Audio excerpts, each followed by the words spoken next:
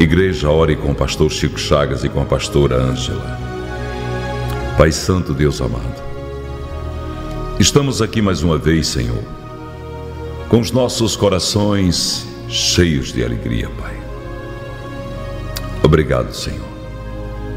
Obrigado, Deus, por tudo que o Senhor tem realizado em nossas vidas.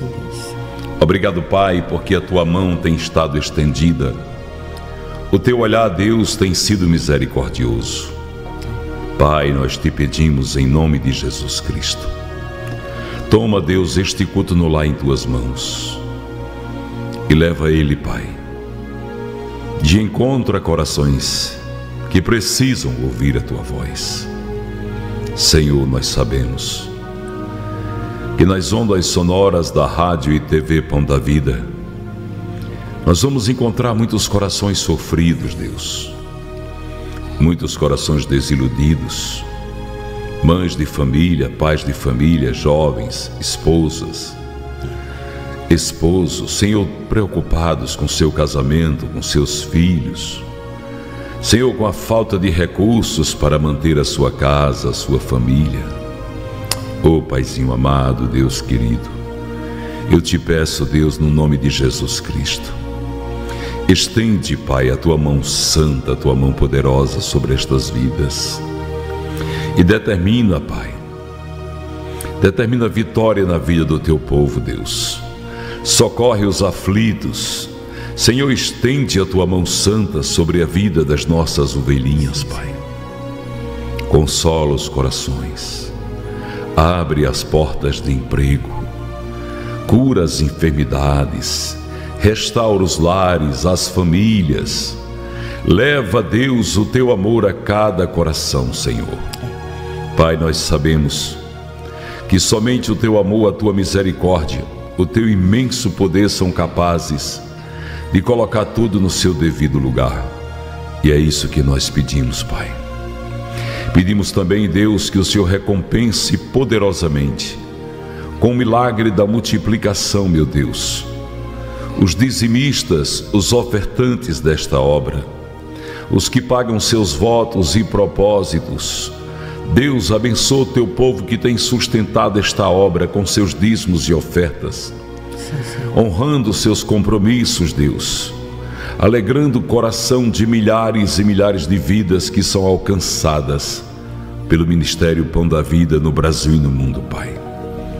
Derrama, Deus, da tua glória Realiza, Deus, o milagre da multiplicação, da prosperidade na vida do teu povo. Recompensa, meu Pai, poderosamente em todas as áreas da vida. Abençoa, Deus, os que fazem votos e propósitos com a casa do Pai, com a igreja Pão da Vida. Oh, Pai querido, Deus amado, atende as orações daqueles que pedem para ajudar a tua obra. Abençoa os que oram por esta obra, os que amam ela por reconhecer, Senhor, que é uma obra que nasceu no teu coração, que tem um chamado teu, meu Deus, para fazer uma grande diferença nesta terra. Abençoa nossos pastores, Pai, nossos obreiros, nossas ovelhinhas.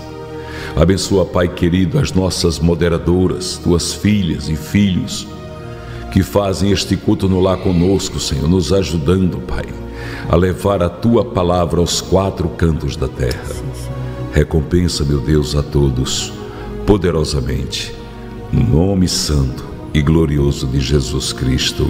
Amém. Amém. Amém, igreja. A Deus, tu és bondoso e perdoador. Senhor, tu és rico em graça para com todos que te invocam. Salmo 86, versículo 5. A bondade de Deus é algo extraordinário é algo que ninguém consegue explicar. E Deus, ele tem feito coisas grandes na vida de cada um de nós. Irmãos, não há paz fora de Deus. Não há como você ter paz fora de Deus. Não tem como. Por mais que você procure, por mais que você tente encontrar fora de Deus a paz, você não vai encontrar. Porque o mundo não pode te dar paz. Os nossos irmãos, amigos, pessoas próximas, elas até tentam, mas elas também precisam da paz. E no meio das tempestades, nós vamos encontrar em Deus exatamente o nosso porto seguro. O que é um porto seguro? É um lugar onde você pode ancorar. É um lugar onde você pode parar. É um lugar onde você para para descansar. Esse é o nosso porto seguro, Jesus Cristo. No meio de tantas lutas, de tantas coisas, você vai encontrar em Deus exatamente este lugar, essa parada. Senhor, preciso parar. Senhor, preciso. Você sabe que tem hora que você diz, Senhor, eu estou cansado. Tem horas que você diz para Deus assim, Senhor, eu não consigo mais andar não, meus pés estão doendo, estão machucados, há muitos espinhos pelo caminho, e entenda por espinhos as lutas da vida das suas mais diversas áreas. E nessas horas você para. É por isso que quando Jesus caminhava com seus discípulos, ele dava aquele momento de descanso. Ele dizia assim: sentem-se na relva verde. Jesus sempre procurava um lugar onde tinha sombra e grama, para que os discípulos descansassem, para aqueles que caminhavam com ele descansassem, enquanto ele multiplicava o pão para dar de comer a eles. Hoje Deus está te chamando para descansar. Descansar nos braços dele.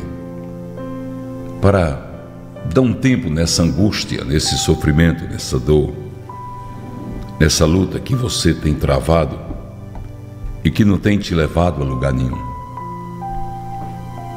Muitas vezes em nossas vidas a gente olha para trás, olha para um lado, olha para o outro, olha para frente e não conseguimos encontrar nenhuma saída para a situação que estamos enfrentando.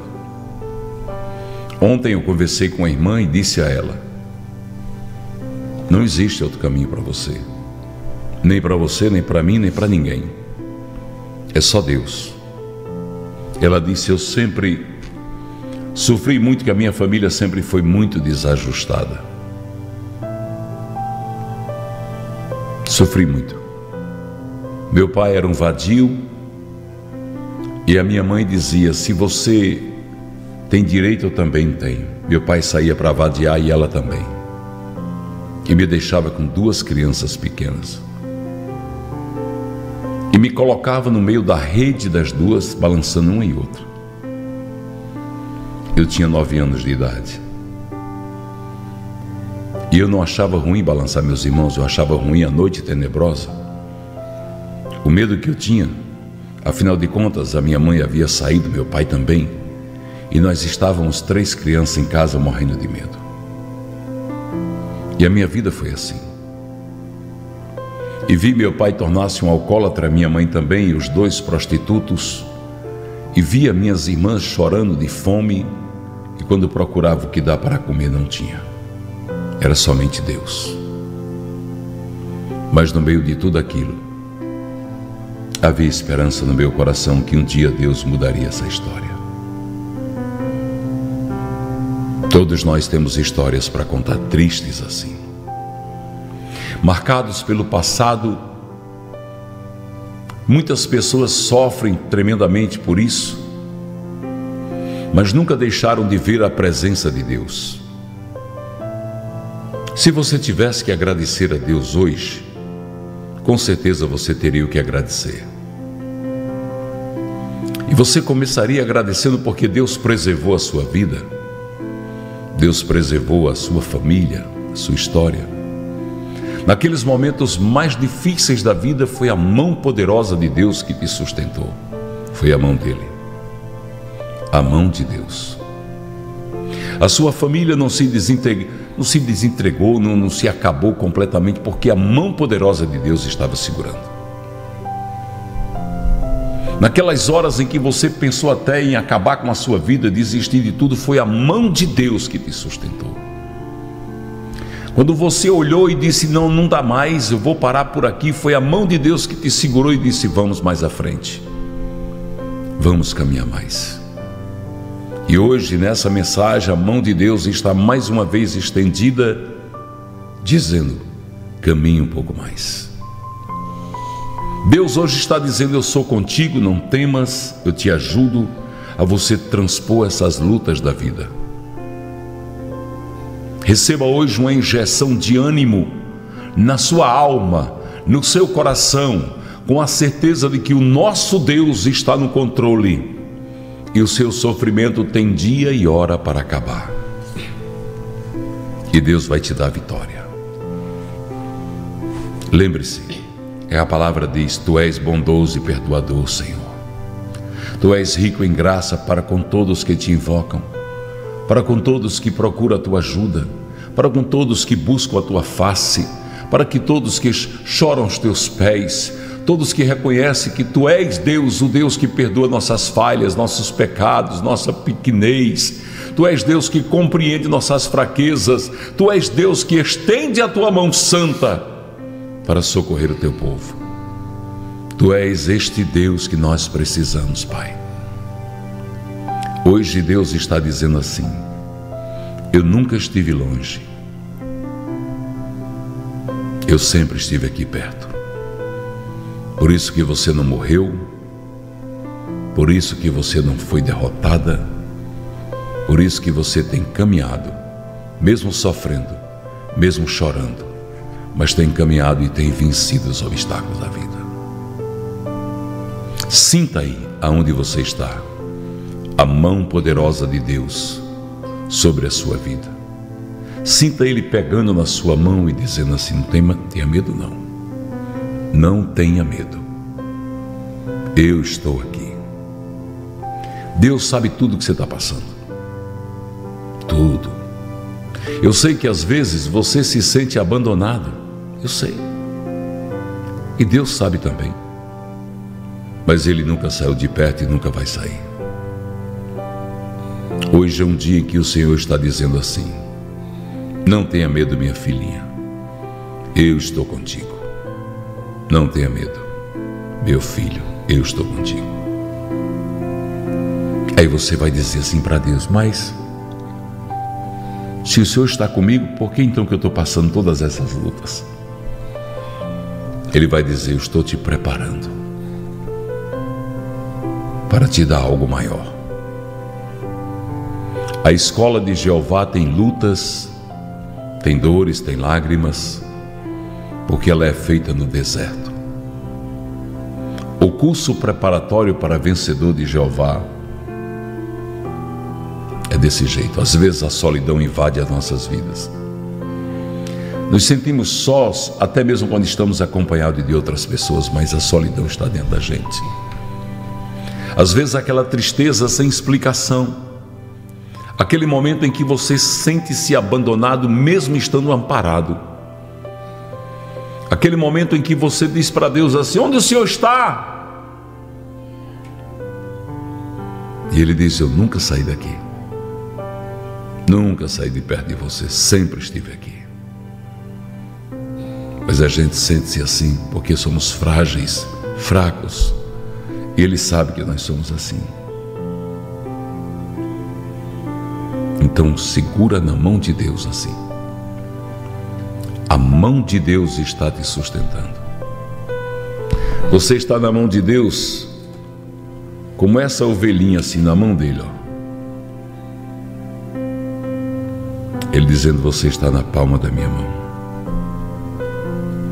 Senhor, mas tem lobos. Tem pessoas, Senhor, que não me compreendem, que pisam em mim. Estão, Senhor, me judiando. E Deus está dizendo, e você acha que eu não estou vendo? Mas o que eu estou preparando vai te surpreender. Escute o que eu estou te falando, em nome de Jesus. O que Deus está preparando vai te surpreender, e a surpresa maior não vai ser nem sua, vai ser daqueles que estão contando com a sua derrota, com o seu fracasso. O Senhor vai te dar a vitória, e essa vitória que Ele vai te dar será uma vitória tão grande que muitas pessoas vão olhar e dizer assim: como é que pode? De onde vem tudo isso? E quando perguntar para você de onde vem tudo isso, você vai apenas erguer o dedo e dizer: Vem dele. Ele é que é o autor da minha vida. É ele que me abençoa. Toma posse, em nome de Jesus. Pastor Ângela. Glória a Deus. Ele estava lá e ele está aqui comigo e com você. Aleluia. Não é incrível isso você lembrar mais uma vez de coisas que você passou, de momentos terríveis e você diz: Deus, onde você estava? Eu estava lá com você, como eu estou aqui agora com você. Às vezes foi naqueles dias em que você estava como Davi, nas cavernas de Adulão, olhando para o alto e clamando socorro, e Deus dizendo: Eu estava lá, te ouvindo e te respondendo. Talvez você diga: Eu estava. Eu estava lembrando aqui, pastora, dos dias em que eu estava como Elias, de cansado, o Senhor me alimentou, mas eu ainda fui e fiquei ali na caverna. E onde Deus estava? Ele estava lá. Ele se manifestou na brisa e me chamou. Seu lugar não é aí, bora, não desiste não.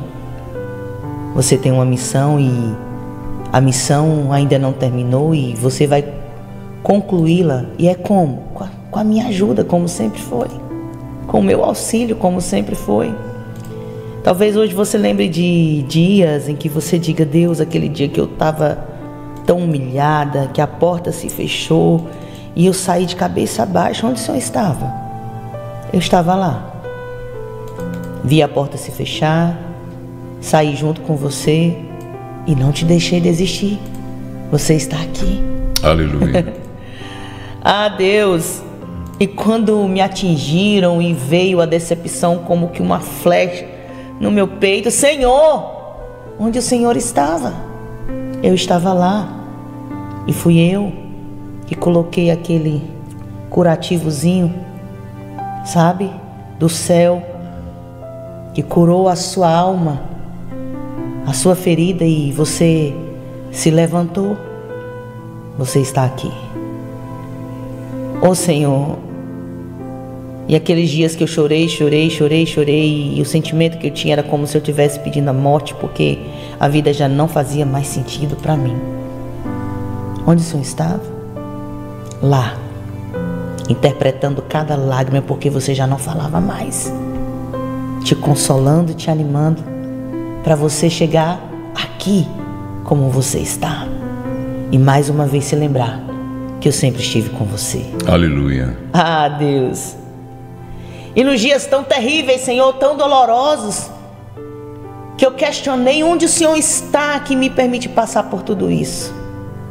Com você, te dizendo que vai valer a pena. Você permanecer confiando em mim, esperando em mim e receber não só os presentes na terra, porque você não está aqui abandonado mas seguir e receber a sua coroa de glória. Eu sempre estou com você.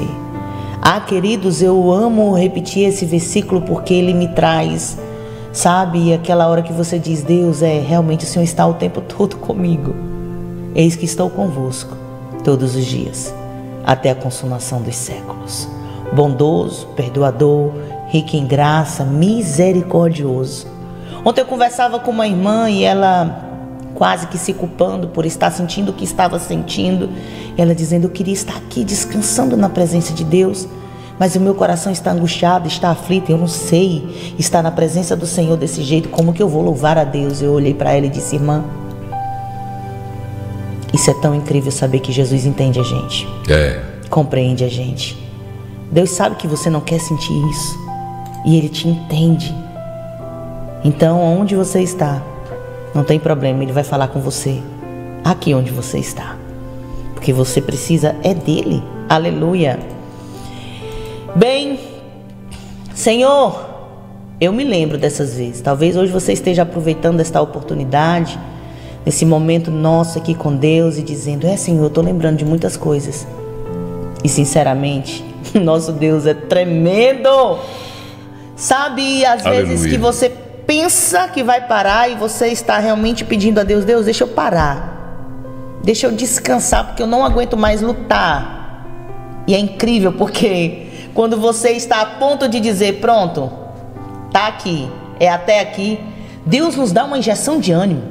Nos dá uma força que quando olham pra gente pensando que ali era o nosso fim, ah, mas Deus mostra e diz, é só para confundir. Confundir os que esperam a sua derrota e ele te faz levantar com força, com um renovo, com um ânimo, com uma alegria. Por quê? Porque você já tomou posse do que Deus te deu, do que está na tua palavra e você sabe que é ele que renova a força, que a, a sua a, o seu ânimo vem dele, das promessas dele, da alegria dele, da presença dele, da confiança nele. Aleluia. E aí você vai Enquanto o pastor falava sobre segura na mão de Deus, eu me lembro que na minha isso é marca demais. Na minha infância, enquanto eu ficava só passeando dentro dos templos, eu não entendia muito das coisas de Deus, mas eu amava ouvir aqueles louvores. E se tem um louvor que eu me lembro que eu escutava e me fazia parar assim de frente para o púlpito, vendo aquelas mulheres louvando, era segura na mão de Deus e vai. vai caminhar, vai avançar, vai triunfante com Cristo Jesus. Como é que você está hoje?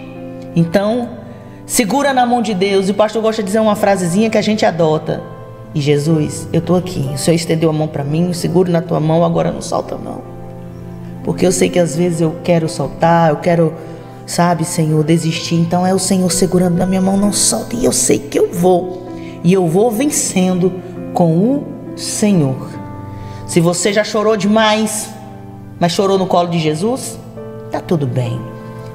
Se você já pensou em desistir muitas vezes, mas você falou foi para ele, glória a Deus, porque você falou para quem não te deixa desistir e que ainda é a solução para te levantar e te fazer continuar. Eita Aquele dia que a gente chora, encosta e diz, Senhor, não sei nem se o Senhor está ouvindo. Aí você fala, fala, fala, fala. Outras vezes só você chora, chora, chora. E ao final você faz uma indagação que eu amo os salmistas quando eles começam a falar, Deus, me perguntam onde o Senhor está. E a essa hora você diz, eu não tô per... não é ninguém que está me perguntando, é eu mesmo, Senhor.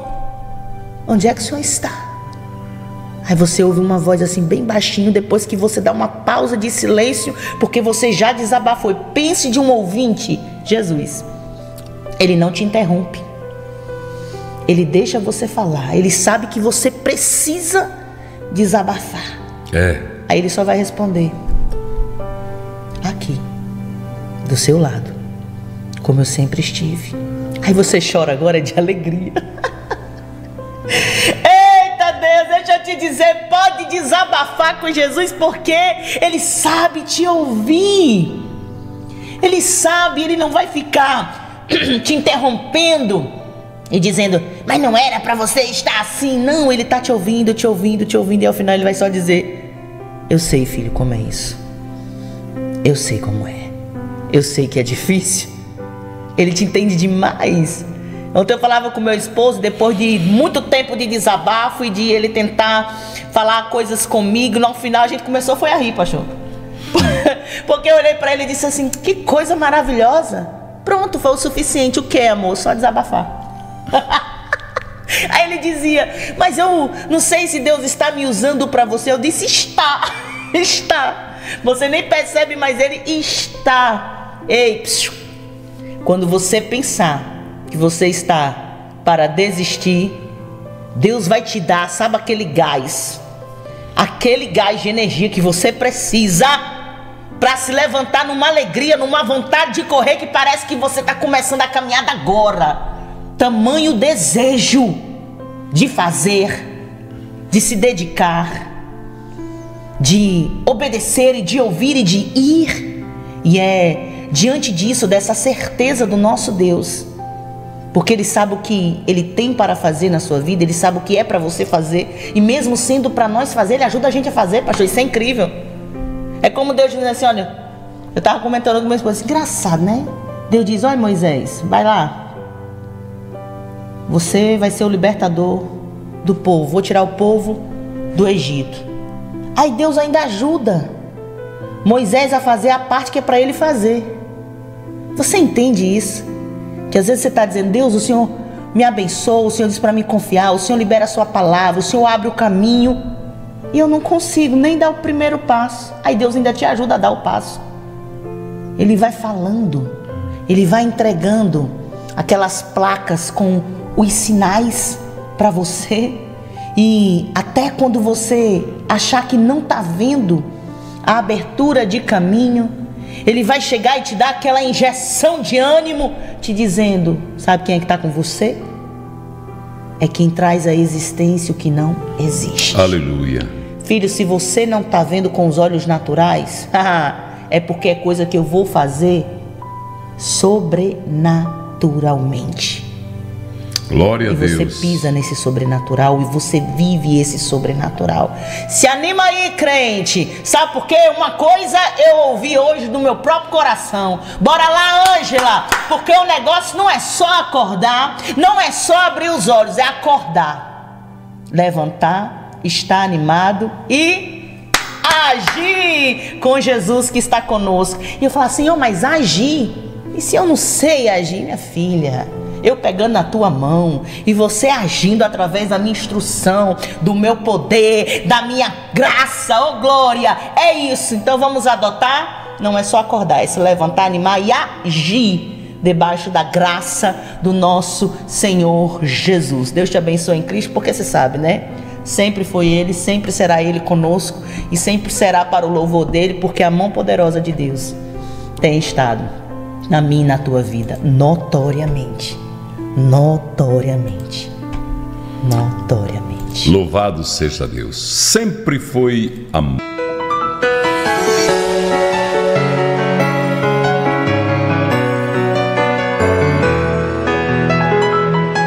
Fui sarado para sarar a outras ao te tocar. Tua virtude me curou. Tua presença me atrai, a tua voz me traz paz. O que eu sonhava e precisava, em te encontrei. Sarada, curada, restaurada. Sarada, curada, restaurada.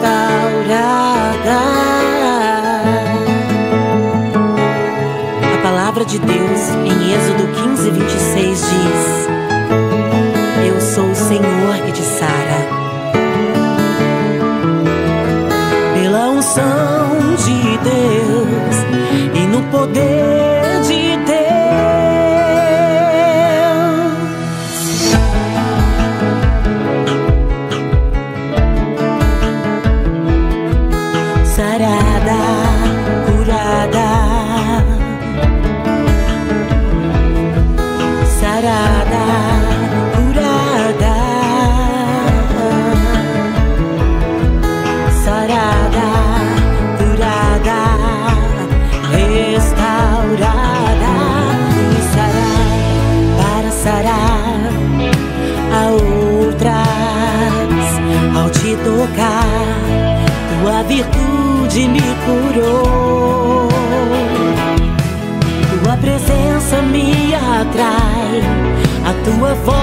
mientras vas.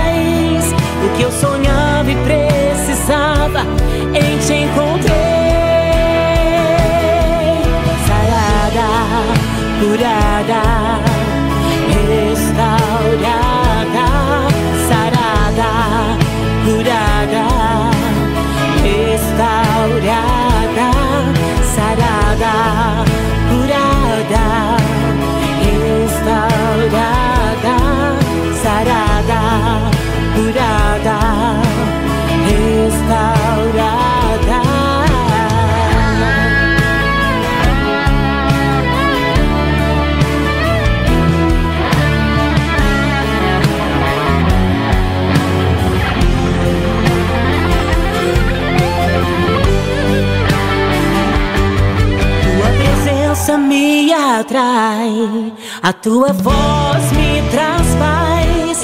O que eu sonhava e precisava, em te encontrei.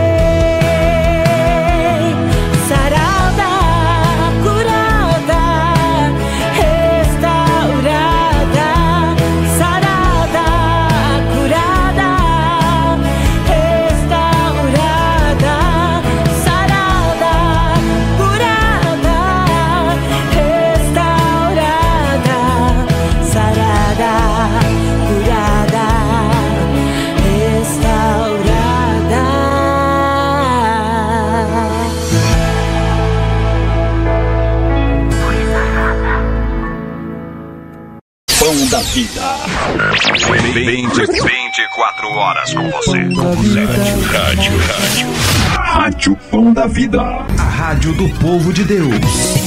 Eita glória! Agora são 10 horas mais 32 minutinhos aqui, Rádio e TV Pão da Vida, falando de Mossoró, no estado do Rio Grande do Norte, para o Brasil e para o mundo! Eita glória! Bora, gente! Como é que você tá? Tudo bom? Tudo bem? Hum? Tudo bom, né? Graças a Deus, que bom. Como é que você tá? Eu digo sempre digo Ontem eu assim, estava na tudo bem, live, ontem, ontem eu estava na live, pastora, da distribuição de alimentos dos moradores de rua. E uma, uma irmã entrou e disse: De onde é esse ministério? Que igreja é essa? Eu comecei a falar para ela que era uma igreja Pão da Vida, com sede em Mossoró, no estado do Rio Grande do Norte. Mas era uma igreja que tinha igrejas espalhadas por várias partes do Brasil, do mundo. E ela ficou maravilhada. E eu, o que eu acho interessante, irmãos, é que as pessoas começam a ver aquilo que você faz, é, que você faz o que Deus manda. E as pessoas começam a ver como algo extraordinário e não é. É Deus que manda você fazer e manda todos fazerem. Se não são todos que fazem, mas todos recebem de Deus pela palavra de Deus a direção para fazer, né? E nós sabemos que isso é, é de uma alegria muito grande para a igreja, a gente poder fazer isso, porque quando você faz, Deus estende a mão. né? Ontem eu falei para as mulheres que trabalham na, na cozinha da casa do pai, eu falei para elas: vou arranjar uma lanchonete, um, um restaurante, para me mandar fazer a comida pelo menos quatro domingos para você descansar. Ah, quando eu disse isso, elas não, senhor. Briga, hein? Eu, você não vai tirar isso da, da gente, não, pastor. Nunca. Pastor, se eu deixar de vir para cá, eu morro. Eu preciso disso aqui. Eu tenho necessidade de estar aqui trabalhando para Jesus. O senhor não vai tirar isso da gente, não. A gente trabalha para o reino com muito prazer. E são mulheres que passam a semana trabalhando, mulheres que trabalham, têm seus empregos, mas no domingo querem estar ali. E durante a semana, a Adriana Carina, a Thaís Michelina, as meninas que ficam no call center também faz a comida na, na rádio para distribuir aqueles que chegam ali. Então, o que eu vejo é que as pessoas admiram a obra que a Pão da Vida faz, mas essa deveria ser a obra de toda a igreja. Se todas as igrejas fizessem assim, os pastores iam ver como é bom motivar os irmãos a exercitar o seu, o seu lado cristão de verdade. Porque a fé sem obra é morta. Tem que ter a obra. Você tem que ter aquela. Há uma alegria no coração do crente quando ele pode fazer o bem. Você sabe disso. Há uma alegria no nosso coração quando a gente faz o bem. Tem ou não tem essa alegria? Aquela, aquela alegria em Deus de você estar sendo usado por Deus para fazer o bem. Você sabe que é assim, irmãos. Nós temos essa necessidade e expandir o reino de Deus.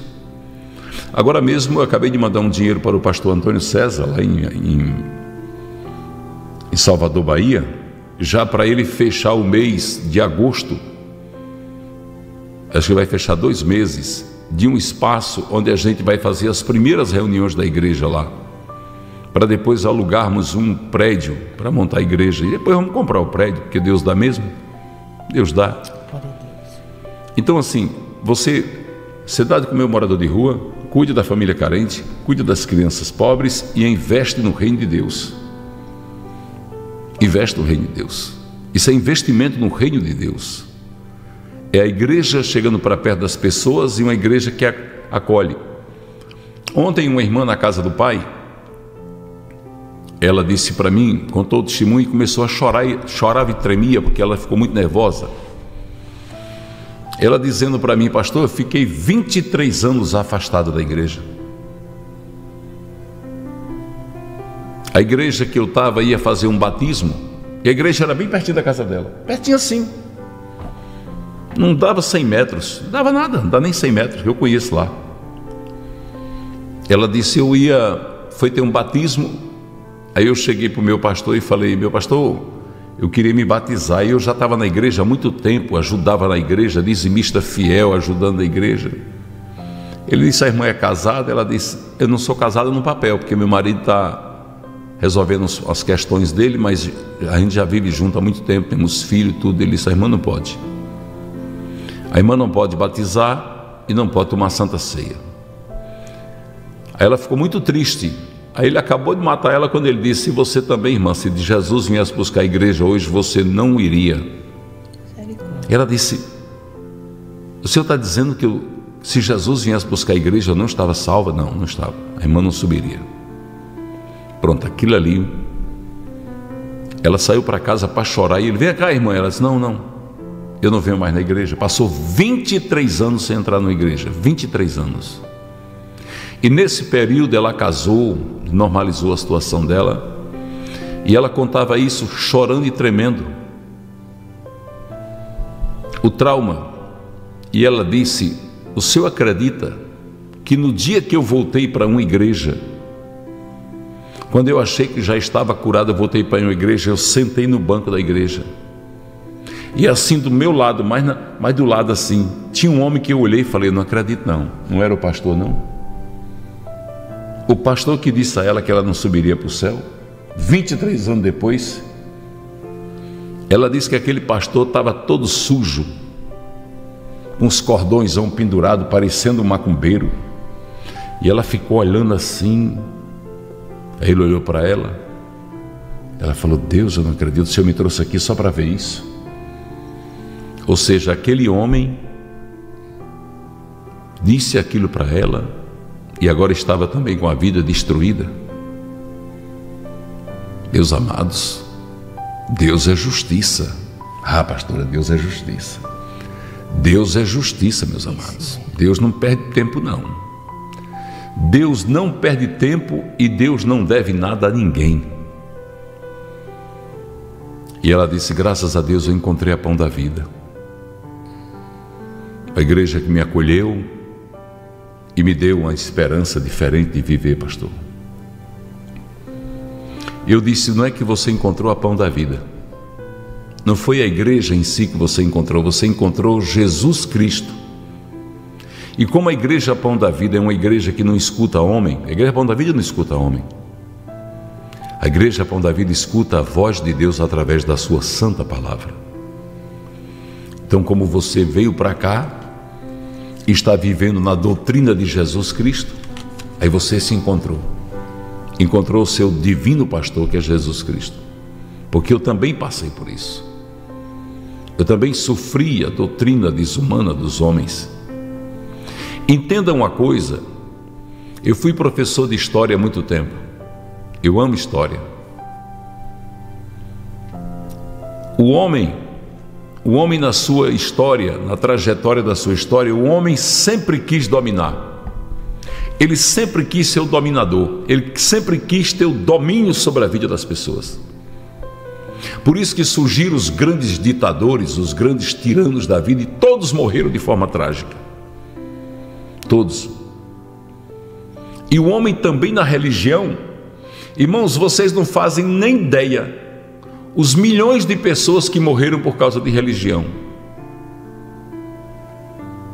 A Igreja Católica fez a Santa Inquisição, que era queimando pessoas vivas na frente das suas famílias. Os instrumentos de tortura que a igreja usava era algo terrível, irmãos.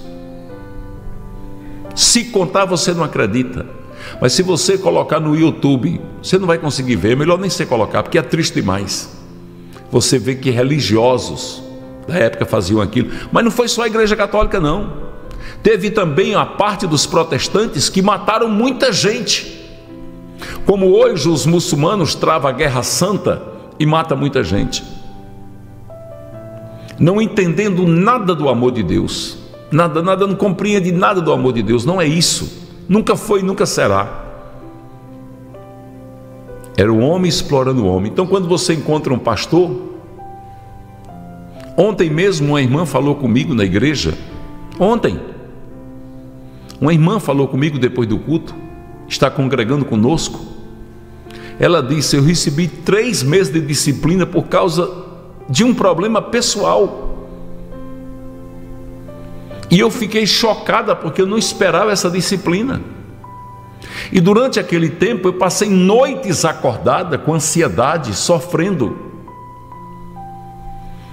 E no dia que eu voltei para a igreja, que tinha terminado a minha disciplina, o pastor nem pegou na minha mão. E ele disse para mim: Você continua disciplinado, porque a sua disciplina não valeu. Mais três meses. Falei, Jesus, o pastor ele precisa das ovelhas. Quem é que mantém a igreja? É Jesus Cristo através de quem? Das ovelhas. Um pastor sem ovelha, ele não tem como tocar a obra. O pastor Chico faz muito, abre igreja, dá de comer a morador de rua, cuida de família carente e crianças pobres, alimenta todo mundo, cuida de todo mundo, faz tudo, mas é porque vocês dão dízimos e ofertas para essa igreja Imagine eu sem vocês, eu ia fazer o quê? Essa rádio nem estaria no ar. Porque eu estou aqui fazendo culto no lar, irmãos, para nove plataformas digitais. Nós estamos aqui usando tablet, celular, câmeras, computador, mesas de som, internet de alta velocidade, aplicativos, três aplicativos pagos mensais toda uma estrutura que é mantida pelo quê? Pelas ovelhinhas. Como é que o pastor pega uma ovelha e quer matar a ovelha? Se matar a ovelha, ele fica com o quê? Ele fica sem nada, pastor. Resultado, ela veio para a nossa igreja e ela disse assim: Pastor, o senhor faz ideia de quantas pessoas vieram dessa igreja que eu estava para a sua igreja? Eu falei: Para mim não, para de Jesus. Mas o senhor faz ideia quantas? Eu disse: Não, são muitas, viu, pastor? São muitas que vieram para cá. E eu disse para ela ontem, numa reunião de nossos pastores, eu falei para eles: Você sabe quem é que faz a igreja? O pastor. Se o pastor for um bom pastor, Deus abençoa e a igreja cresce. Se ele for um péssimo pastor, a igreja não sai do lugar. Pastora, não vai a lugar nenhum. Não sai do lugar. Não sai do lugar. Eu louvo a Deus, eu glorifico a Deus, porque quando nós estávamos no predinho bem pequenininho, que só tinha essa igreja, num predinho alugado, irmãos, era assim, olha, de gente na igreja. Era cheio. Tinha cultos que era mais gente do lado de fora do que do lado de dentro. Eu louvo a Deus porque na pão da vida nunca faltou o povo de Deus. Deixa eu ver se eu encontro aqui. Outro dia eu estava vendo umas fotos dessa época, pastor, e me deu saudade. Foi. Me deu saudade porque quando eu chegava, eu encontrava eu encontrava os irmãos na igreja, na porta da igreja, e eu vi os irmãos me cumprimentando com tanta alegria. Os irmãos chegavam, pastor, e vinha me abraçava, e era aquela alegria. Hoje é do mesmo jeito, mas naquele tempo eles estavam ali do lado de fora, na rua. Na rua, irmãos. Eu consegui com a prefeitura na época interditar a rua e nós interditávamos a rua exatamente para poder colocar as, as cadeiras na calçada. Uma hora eu quero fazer um documentário para mostrar como eram os cultos naquela época, como os irmãozinhos ficavam na rua com alegria tão grande na alma, era uma alegria tão grande, irmãos, que eles ficavam ali. Outro dia eu estava olhando umas fotos que não tem. Esse negócio do YouTube não mostra. O YouTube não, o Facebook não mostra, né, pastor? Umas fotos da época. Mostra, traz uns é, chama, chama Saudade, está aqui, ó. Vou mostrar para vocês, está aqui, ó. Uhum. Deixa eu ver aqui uma foto que mostra a igreja do lado de fora. Uma Deusa, uma Paula. É, deixa eu mostrar essa foto aqui. Deixa eu salvar essa aqui, vou mostrar para vocês. A alegria nossa em ter aquela, aquele, aqueles momentos com, com a igreja Já baixei um aqui. Olha, deixa eu pegar e salvar essa outra, vou mostrar para vocês. Então, o pastor, quando ele é um, é um pastor que o povo ama, que o povo quer bem, esse pastor ele vai ter vai ter o povo vindo à igreja independente do que a igreja seja. O povo não quer saber se a igreja é confortável ou não, porque lá, irmãos, o pessoal ficava no calor que tinha irmã que passava mal. Teve irmãs lá que passavam mal. Pronto, aqui a foto, mostrando o pessoal do lado de fora da igreja. E a minha preocupação era porque ele subiu no asfalto. Eu estava vendo a hora acontecer um acidente, eu tinha um medo, meu Deus do céu, esse pessoal tudo aí. Como é que vai ser isso, Jesus? Deixa eu mostrar para vocês.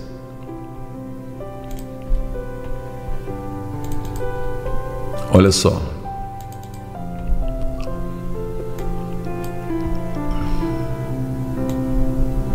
Olha o povo aqui, ó.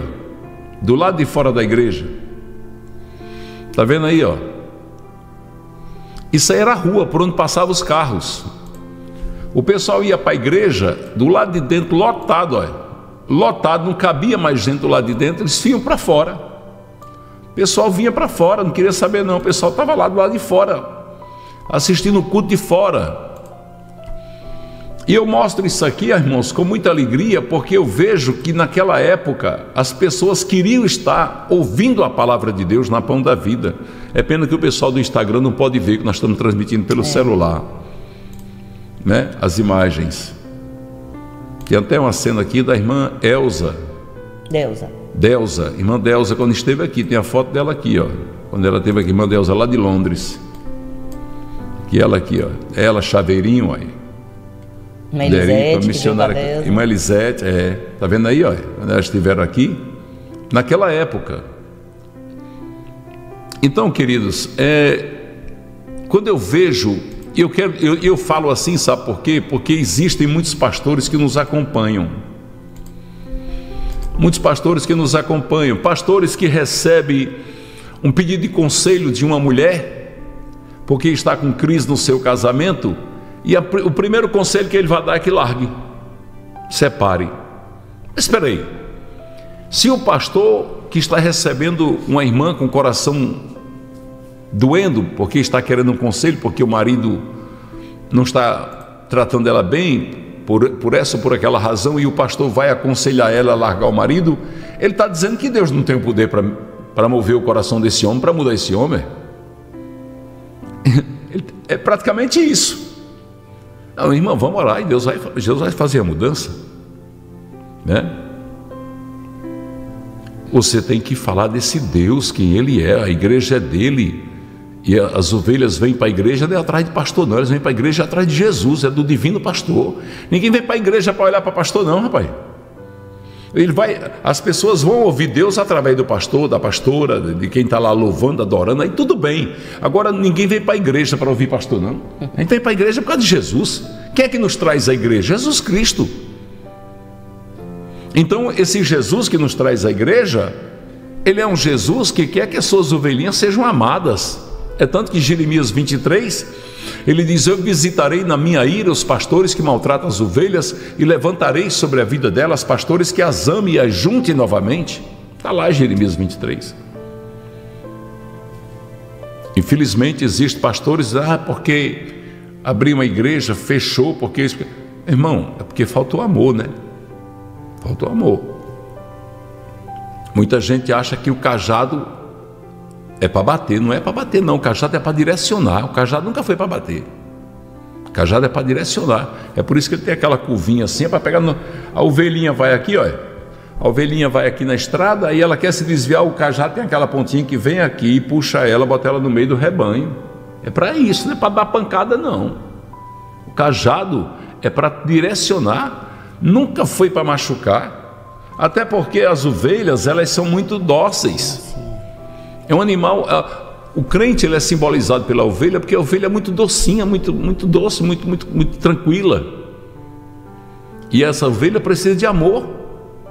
Então, quando você está passando uma dificuldade que não encontra esse amor no seu pastor, meu Deus do céu, isso é terrível.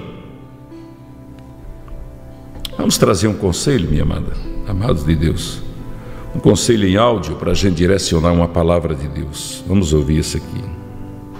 Pastor, eu queria tirar uma dúvida. Aqui em França é muito complicado a questão de igreja. Por quê? É, eu estava morando em Paris, mas estava meio perigoso onde eu estava morando, porque era Paris 20. Lá tem muito árabe, muito turco. E na, no prédio que eu estava, eles ficavam lá embaixo fumando, é, se drogando e bebendo, aquela coisa. Eu resolvi ir mais afastado, que, que são ilhas, né? Que são bairros ao redor de Paris. São como se fossem uns bairros mais familiares. E eu estou um pouco afastado de Paris. E questão de transporte aqui é um pouco perigoso. É muito bom de ser usado, mas durante o dia, mas a partir das nove e meia, dez horas da noite é reduzido. À meia-noite, os trens, os ônibus começam a parar. E sábado e domingo são os dias são os dias que mais é, são reduzidos. Peraí,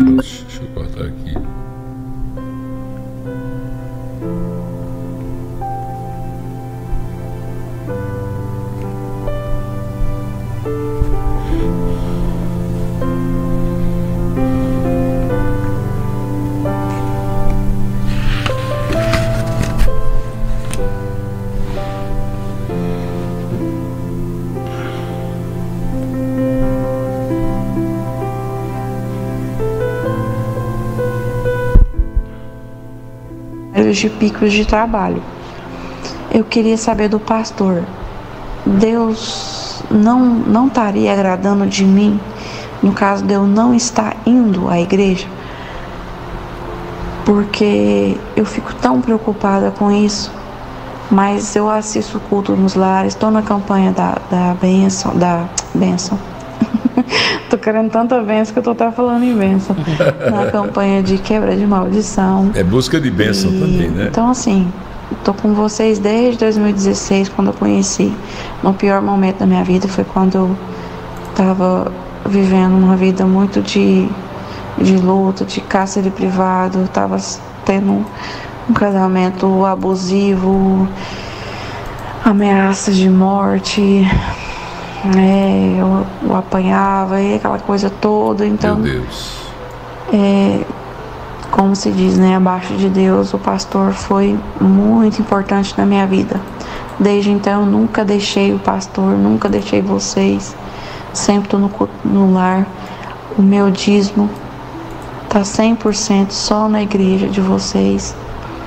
Não tô dizimando no Brasil e nem quando eu estava no Brasil também não estava dizimando. E aí, voltando à minha pergunta, é o seguinte: Pastor, é errado eu não estar tá indo na igreja porque eu fico com medo de ir e não ter trem nem ônibus para voltar. E eu ainda não falo francês fluentemente. E é muito perigoso porque eu sou sozinha, mulher, é perigoso. E eu queria que o pastor me respondesse essa pergunta, por gentileza. Deus abençoa. Com fé em Deus, eu ainda vou ajudar muito, muito, muito, muito, muito. Em nome de Jesus. Amém. Querida, é, falando filha, filha mesmo, uhum. Slaine, fique tranquila. Você está certa. Pastor, mas o senhor está aconselhando a irmã não ir para a igreja e o risco da vida dela. Ela passar por essas pessoas se drogando, uma pessoa que não não domina ainda o idioma francês, quando termina o culto já não tem mais trem para ela voltar. Você está certa, acompanhe na sua casa. Você tem a Igreja Pão da Vida, é uma igreja completa. Nós temos o canal Igreja Pão da Vida Mossoró. Coloque aí, minhas irmãs. Jane Silva, coloque aí o, o link, inscreva-se nesse. Tem os cultos transmitidos. Pocinho de Jacó, todo dia, de segunda a sexta, meio-dia. Tem os cultos de domingo, quarta, quinta, os cultos de jovem, culto da família. Você pode cultuar vendo, não tem problema nenhum. Agora, eu, eu como pastor, dizer, não, mas você tem que ir na igreja para você ir arriscar a sua vida. Perigoso até acontecer uma coisa pior na sua vida, você num país estrangeiro, ter que passar, você quando sair para a igreja, passar por esse, esse monte de homens se drogando e voltar a passar por eles de novo, isso é um risco muito grande. Não, Deus não quer isso não. Isso aí é sacrifício de tolo. E a tecnologia está aí é para isso. A Maurina Martins está dizendo: a Pão da Vida é uma igreja completa. É uma igreja completa. Está aí, a Jane está colocando o canal da nossa igreja aí. Coloca também da RTV, Jane. Para você já colocar aí a Marília Lima, colocou. Está aí a Marília Lima lá na China. É. Então, assim, você está num país onde você não domina idioma, você para uma igreja, sair da igreja e não ter ônibus, não ter, não ter trem, não ter nada, você não, isso não existe não, não, faça, não vá não, minha filha, não vá. Se você fosse minha filha, eu estou lhe chamando de filha porque você está na igreja, pão da vida, então eu tenho minhas ovelhinhas como filha. Não vá. Isso ninguém pode fazer isso. E pastor nenhum pode exigir de você esse sacrifício. Porque não é ele que está correndo um risco de vida. O pastor termina, entra no carro dele, vai embora para casa e você fica solto no meio do mundo? Não, não pode. Olhe, na igreja Pão da Vida aqui na sede, nós temos quatro seguranças. Quatro. Para olhar, desde que tomaram o carro da pastora Anja de assalto, é que eu vi o perigo que as irmãs estavam correndo. E esses dias agora, o pastor Raulison e o pai dele, irmão Roberto, evitaram uma irmã perder a moto lá. A irmã saiu na igreja, entrou na outra rua, os caras foram atrás dela para tomar moto, o pastor foi atrás e botou os caras para correr. Pastor Raulison. Pastor tem que defender suas ovelhinhas. Não tem que exigir que ela se sacrifique, não. Ah, pois na pão da vida, às vezes as irmãs dizem, pastor, eu não venho mais o culto porque meu marido não é crente, aí ele fica com raiva de pronto, não venha. Negocie com seu marido, a pastora Ângela, até cito o exemplo dela. pastora Ângela tinha permissão do marido para ir na igreja uma vez por semana. E ela obedeceu, eu digo, obedeça seu marido, minha filha. Não desgoste seu marido. A palavra de Deus diz que ele é o cabeça da casa, obedeça a ele. Hoje, Deus ganhou ele. Hoje ele é que manda ela ir. Quando ela não vai, ele pergunta: não tem igreja hoje não? Ele ficou foi chateado sábado. É. Você avisa seu pai que você não foi para governador. Não foi porque eu não quis chegar antes da hora, não. Você que não me avisou que ia que tinha um compromisso. Se tivesse me avisado, eu tinha chegado mais cedo. Olha aí, tá vendo? Aí eu, não, eu sei, eu vou avisar. Tá aí. então é isso aí, né, pastora? Ai, Deus bom, né, gente? Pastora, tem, tem, tem... tem um pedido de conselho aqui, a irmã pediu para não ser identificada. Ela hum. mora aqui no Rio Grande do Norte e diz assim: Tenho 29 anos, sou evangélica, mas no momento estou sem congregação. Venho acompanhando os cultos da Igreja Pão da Vida através do YouTube e é bênção de Deus. Estou em uma situação familiar complicada, pastor. Tenho é, 60 anos, tenho o quê? Um. Um quê, pastor, que ela colocou? Você entendeu, logo no início. Estou em uma situação familiar complicada, pastor. Tenho o quê?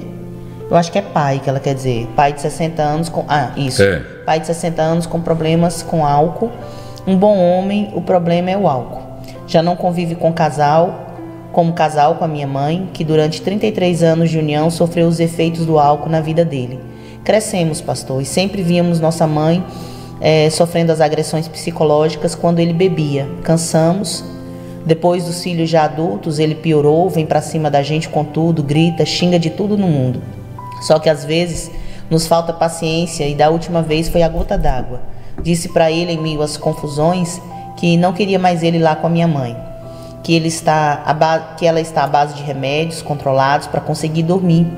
Tudo que ganha, pastor, é para investir em bebidas e todas as vezes tem confusão, gritaria. A gente adoece vivendo assim, pastor.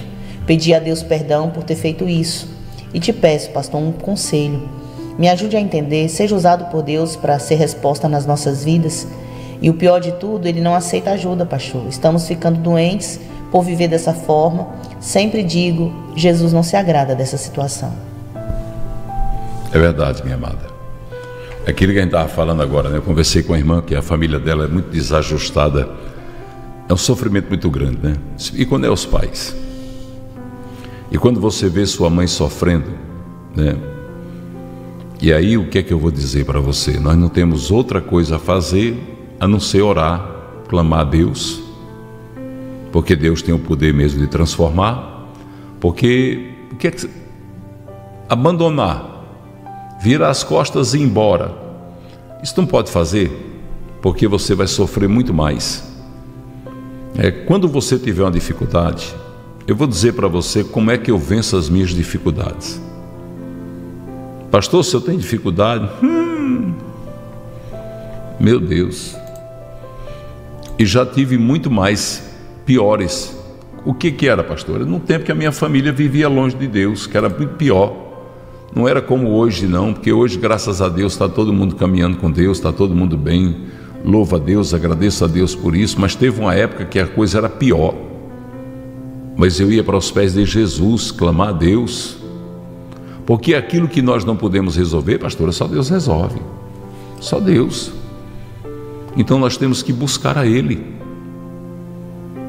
Você já viu naquela história, é coisa para Deus? Pronto, é isso aí. Apareceu uma situação aqui. Agora, vamos supor, aparece uma situação aqui para mim agora. Eu dou uma olhada, eu resolvo. Eu tenho como resolver. Jesus, me ajuda aqui, papai. Me ajuda aqui a resolver a situação. Eu vou em frente e resolvo. Mas se eu olhar para a situação e ver que não tem jeito, eu não tenho capacidade para resolver, eu digo, Deus, aí é, aí é coisa para o Senhor. Ou então, se for às vezes uma situação delicada, que é o seu caso, que é uma situação delicada. Por quê? Porque a atitude que eu tomar, vou machucar de um lado ou de outro, ou machucar todos os lados. O que é que eu vou fazer? Eu vou dizer, Deus, me ajuda. Eu quero que o Senhor entre nessa peleja aqui, o Senhor me ajude a resolver essa situação, porque eu não consigo. Eu preciso do Senhor aqui agora. E Ele vai entrar e vai resolver mesmo, que Ele resolve mesmo. E quando Deus resolve, está resolvido. Entendeu? Nós precisamos entender isso. Nós somos crentes, nós temos um Pai poderoso que pode todas as coisas para resolver as coisas. Então Deus vai resolver, Deus vai entrar e vai resolver. Eu entrego muita coisa para Deus resolver, até mesmo as coisas às vezes que eu, eu, eu sei, eu resolvo fácil, até coisas fáceis. Eu digo assim, Deus, mas se eu for resolver, pode ser que eu faça errado, porque eu sou falho, é. né? Meus filhos, por exemplo, eu tenho 12 filhos. Quando eu vejo uma só. situação na vida, é só isso, né? Quando eu vejo uma situação na vida de, de um filho meu, de uma filha minha, eu vou para os pés de Jesus. Se eu for falar com ele ou com ela, e eu souber que se eu falar vou magoar, vou ferir, eu vou falar com Deus, Deus resolva, me ajude. E é incrível como a gente vê ele agindo. Ele vai resolver. Tá bom? Deixa eu trazer mais esse pedido de conselho aqui. Pastor, uma dúvida. Quando desbloquear o meu auxílio, eu disse que ia dar uma quantia de 500 reais para casa do pai. Só que a minha igreja aqui é igreja de pessoas fracas. Aí o pastor disse que está no vermelho ele. Aí que era para a gente dizimar. Eu gostaria de saber se Deus permite, porque eu fiz o propósito para ir. Se eu posso dividir no meio, dar um tanto para casa do pai e um tanto para ele, se pode, porque eu já, eu já disse que a fé, né? Eu tenho fé que já resolveu. Entendeu? Eu ia hoje lá para desbloquear, mas hoje eu conheci a pressão alta, não pude. O senhor me dê retorno, se pode? Amém. Deus cure Janusa a sua pressão arterial. Você fez um voto com a casa do Pai, você tem que cumprir com a casa do Pai, mas como a casa do Pai é administrada por mim, eu autorizo você a fazer em nome de Jesus. Se eu não autorizasse, você não podia fazer. Porque se eu dissesse assim, eu estaria transgredindo a palavra de Deus. A palavra de Deus diz: é melhor que não votes do que votes e não pague. Porque Deus não se agrada de tolos. Quer dizer, tolo é quem pensa que pode dobrar a Deus, enganar a Deus. Mas como você disse que o seu pastor está em dificuldade, eu autorizo você a dividir. Pode dividir, minha amiga. Você tem meu apoio. E eu, como a palavra de Deus diz, o que ligares na terra será ligado no céu. Então eu estou dando autorização para você fazer isso. Se, eu, se você não conseguisse ter a minha autorização, melhor que você pagasse o voto com a casa do Pai e fizesse qualquer oferta para a sua igreja, porque voto é voto, fez tem que pagar. Tá bom, minha amada? Só aconteceu aqui uma vez que um médico fez um voto com a igreja e a igreja fechou. Fechou, desapareceu. Quando ele chegou lá para pagar o voto, cadê a igreja? Já não estava mais. Ele perguntou: a igreja que estava aqui foi para onde? Ninguém sabia dizer. Capital, Rio de Janeiro, lá no Rio de Janeiro. Aí ele ligou para mim, pastor, a igreja mudou ou fechou, ninguém sabe dizer. E eu estou agora querendo pagar meu voto. Eu posso pagar com a casa do Brasil? Nesse caso, pode. Porque você não sabe onde está. E você quer cumprir com seu voto. Nesse caso, você pode. Mas de outro caso, você não pode ser o voto que você fez foi com um determinado lugar, você faz. A menos que, por exemplo, vou dar outro exemplo. Você vai. Aconteceu que eu também já aqui. Uma irmã fez um voto com a igreja, foi lá em São Paulo. E ela ia. Era, era o voto para vender um apartamento. Ela vendeu o apartamento. Mas quando ela vendeu o apartamento, a igreja dela estava vivendo um escândalo. O pastor tinha tido um caso amoroso lá com alguém da igreja, estava aquele escândalo, a igreja estava aquela bagunça, a mulher do pastor tinha largado o pastor, estava aquela coisa que você sabe o que é que vira. E ela disse a mim, pastor Cheque, aí? Eu disse, não, aí você está livre para entregar onde você quiser. Onde você quiser. Por quê? Porque se o pastor não teve compromisso com a igreja, não honrou a igreja perante Deus, você não tem que honrar ele, porque ele desonrou a igreja. Está entendendo o que eu estou dizendo? Ele desonrou. É por isso que a Bíblia Sagrada vai dizer que o único, o único motivo que Deus apoia a separação é a infidelidade a traição. Então o pastor traiu a igreja.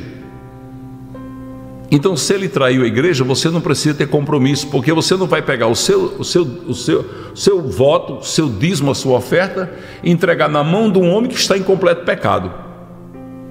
Porque senão você está entregando aquilo na mão de alguém que está debaixo de maldição. Então, quando eu entrego meu dinheiro para alguém que está na mão debaixo de maldição, estou também recebendo essa maldição para mim, porque eu estou alimentando o pecado na vida dele. Porque tem homens que parece que não tem medo de Deus, praticam essas coisas, mas não sai da presença da igreja, quer ficar na frente, mesmo sabendo que não pode. Porque quem tem temor de Deus, quando erra, quando peca, cai fora. Opa, vou, vou me ausentar, vou, vou sair. É isso que tem que fazer para ser obediente a Deus. Tá bom, minha amada? Pastor, tem uma, uma irmã pedindo uma orientação a respeito do comportamento do seu esposo. Ela colocou assim: O que faço, pastor? Meu esposo sempre me coloca para baixo. Primeiro do que tudo, não se sinta para baixo. Não esqueça que o diabo usa quem está perto de você e quem tem intimidade com você. Lembra do que ele fez? As astúcias do diabo ele pegou os anjos que estavam na adoração a Deus e virou um terço dos anjos contra Deus.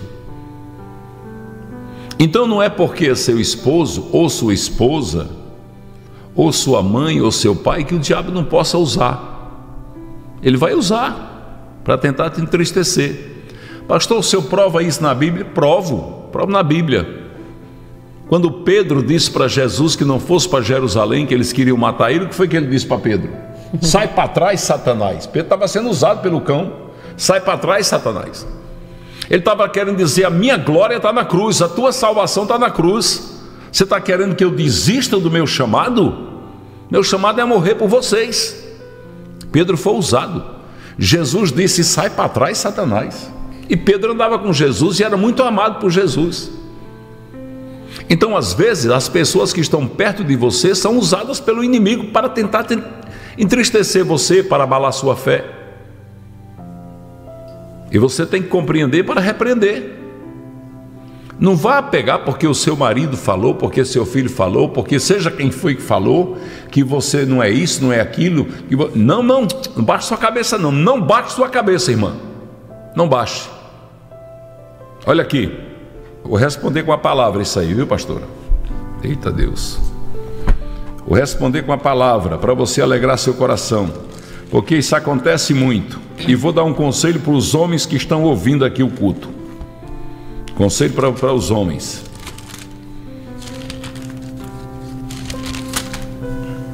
Nunca diga para sua esposa que ela não é capaz. Nunca diga. Irmãos, preste atenção no que o pastor está dizendo. Esse conselho é de Deus para o seu coração. Tem homens que perdem a paciência e fala para a mulher: Mas você é muito burra. Não faça isso não. Não faça isso. Porque quem vai ficar alegre com você é Satanás e não Deus. Deus vai ficar triste com você. Em Efésios, no capítulo 5, Deus diz assim: O homem trata a sua mulher com amor e com respeito, como Jesus Cristo trata a igreja dele.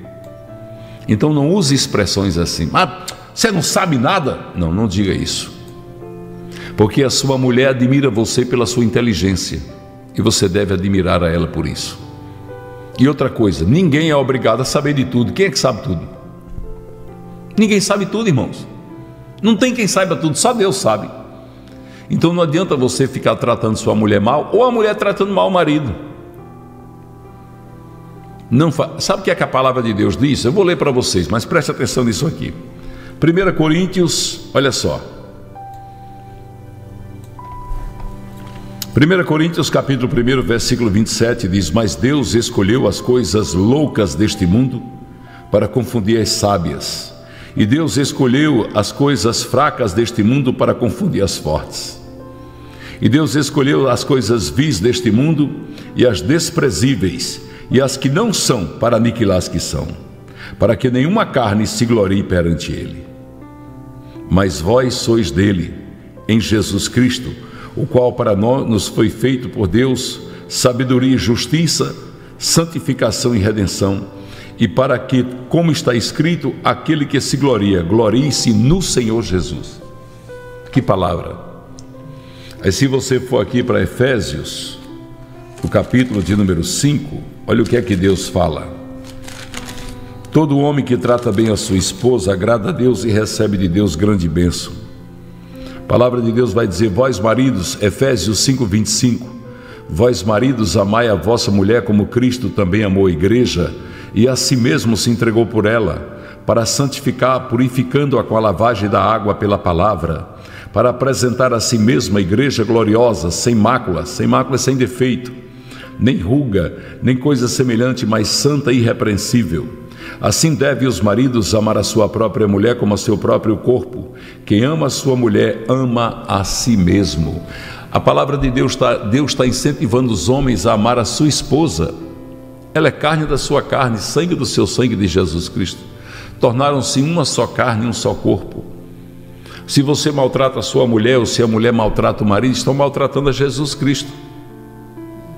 Então, assim, se você quer ser feliz, quer ser um homem próspero, quer ver Deus abençoar a sua vida, quer ver Deus fazer com que tudo na sua vida dê certo, trate bem a sua esposa, com amor, com respeito, e as mulheres, o seu marido.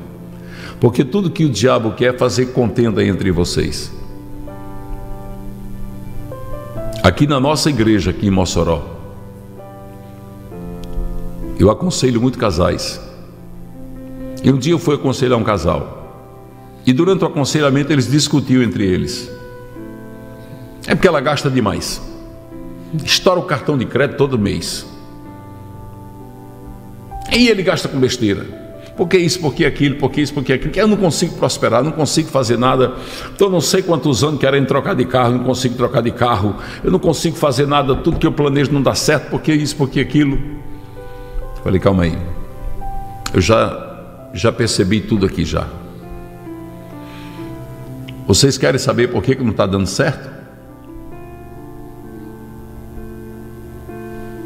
Por quê? Por causa disso aí.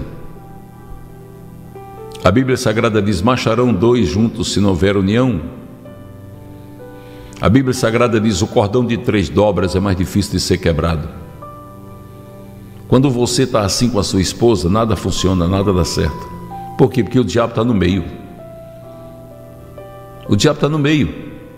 Fruto do Espírito Santo é amor, é paciência, é longanimidade. Quando tem essas confusões, essas coisas, o diabo está agindo e vocês estão dando corda a ele. Comece a caminhar em união. Aí chegaram mais perto da igreja, começaram a caminhar com a igreja, começaram, os são obreiros da igreja, estão andando de carro zero, compraram apartamento, pastor, mas aquilo que o senhor falou para mim, não foi eu que falei, não, foi a Bíblia, é a palavra. Eu não falei nada, eu só falei o que Deus já está falando, porque você não tinha observado. Deus não ouve as orações, né, paixão? Exatamente. Casal que caminha em união não tem como não prosperar, porque está escrito na palavra. Deus ele se alegra a abençoar o casal que vive bem. O que é que a irmã está dizendo, irmã Ana Cristina? Ana Cristina colocou assim: a, a paz do Senhor Jesus. Ela colocou: Meus pastores, tem 20 dias que uma pessoa me feriu, me humilhou, veio me pedir perdão. Passou 15 dias, ela voltou a me magoar novamente. Ela estava arrependida, paixão? Aí você veja, a palavra de Deus diz que seu irmão vinha ali procurar várias vezes no dia para lhe, no dia, viu, no mesmo dia para lhe pedir perdão, você deve perdoar. Ai, Deus. 70 vezes 7. 70 vezes 7. Ai, Jesus, como é difícil, Senhor. Existem as pessoas, é, existem as pessoas que por não terem Deus, elas são tempestivas. O que é que quer dizer uma pessoa tempestiva? É a pessoa que faz tempestade, em- não tem aquela, poxa, fulano, você faz tempestade num copo d'água. É aquela pessoa que qualquer coisa espalha tudo, briga com todo mundo, já desassossega a vida toda. Não tem gente assim. Nessas horas, Ana Cristina, cada um de nós temos que pensar o seguinte: quem é o crente aqui? Quem é o crente? Somos nós, somos crente. Então, quem é que tem que fazer o uso dos 70 vezes 7 dito por Jesus Cristo? Somos nós. Você sabia que as pessoas vão ver nós de uma maneira diferente quando nós as perdoamos? E a gente, quando pede perdão a Deus várias vezes pela mesma coisa, pastor, meu Deus. É. Jesus. Você não se arrepende de verdade? Já aconteceu com vocês? Eu tenho certeza que sim. Você se arrepende de verdade naquele momento, aí passa um tempo, você faz de novo. A mesma coisa. A mesma coisa. E de verdade você se arrepende, Deus sabe como é que você está, a sinceridade do seu coração. E você diz, Deus, mas eu não queria estar errando mais, eu errei de novo, mas na sinceridade você realmente se arrependeu. E Deus sabe, né? E, e não é, e não é autorização para você sair desagradando a Deus, nem fazer não. É muitas coisas que a gente sabe que a gente se sofre, que na nossa humanidade, que é a nossa fragilidade, e a gente pedindo a Deus, porque Senhor, tu sabes que eu não quero fazer, mas eu acabo fazendo, como o apóstolo Paulo fala, né? O bem que eu quero fazer eu não faço, mas o mal que eu não quero fazer, isso eu faço, né? É sempre pedindo a misericórdia de Deus, pedindo socorro a Deus para nos ajudar a ser como Deus quer que a gente seja, né? É. Oi, Eliane, Deus abençoe. Exatamente isso. Né? Deixa eu ver se, se o pastor Antônio César está por aí para a gente falar. Se a gente já pode falar sobre Salvador, Bahia. Glória a Deus, né? Deixa eu ver, pastor Antônio César está por aí, pastor Antônio César, para a gente fazer uma chamada de vídeo. Já ficou mais ou menos acertado. A Morena gosta dizendo, já aconteceu comigo. A Eliane, comigo também. Pois é. Aí É. eu tenho eu tenho uma frasezinha, eu estava pensando, Jesus, eu vou falar sobre isso na live.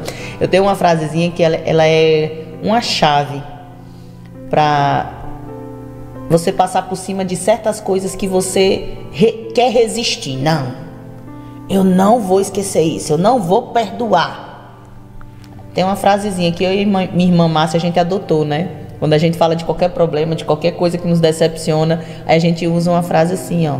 É poderosa, viu, pastor, essa frase? A gente olha para outra e diz assim: Jesus está voltando. é. A gente não pode mais perder tempo com essas coisas, não. Aí, ah, mas fulaninho não sei o que. Jesus está voltando, perdoa. Eu não posso não sei o que. Jesus está voltando.